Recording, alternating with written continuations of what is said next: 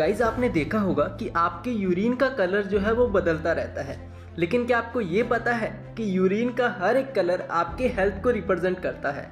तो कौन सा कलर क्या बताता है?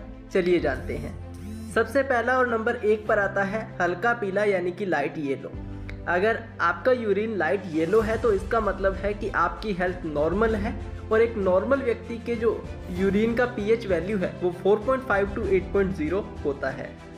सेकेंड नंबर पर आता है गाढ़ा पीला, यानी कि डार्क येलो इसका मतलब है कि आप ज़रूरत से कम पानी पी रहे हैं। एक नॉर्मल व्यक्ति को दिन में 2.7 टू 3.7 लीटर पानी पीना चाहिए। नंबर तीन पर आता है पीला झाग वाला, यानी कि फोमी यह बिल्कुल सीधी चेतावनी है कि आपको किडनी की समस्या है।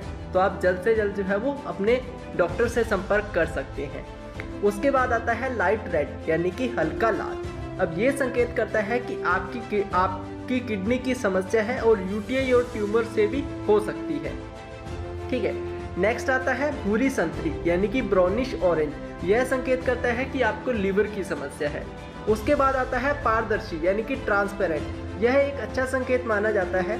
इसका मतलब है कि आप पर्याप्त मात्रा से ज़्यादा पानी पी रहे हैं। अगर अगर आप ज़्यादा पानी पी रहे हैं तो ये आपके लिए बेनिफिट ही करेगा।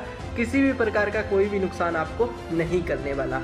तो ये कुछ कलर्स थे यूरिन के, जिनका मतलब है आपकी हेल्थ को लेकर।